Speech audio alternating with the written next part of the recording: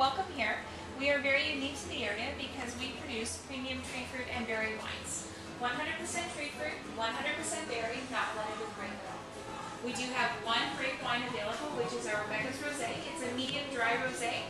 However, it's not available for tasting today. Okay.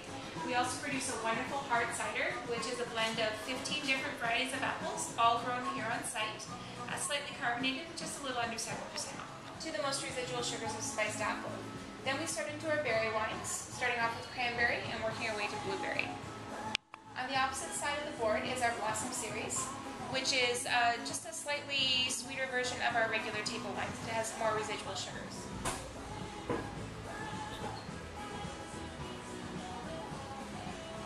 So slightly carbonated.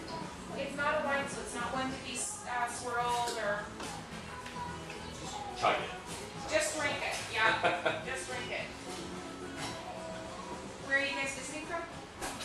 Pittsburgh. Very nice. Yes. Oh, lovely. And, you, and we have a nice hot weather for you. Well, it's really Yeah, we hot there it'd be too. cooler. so-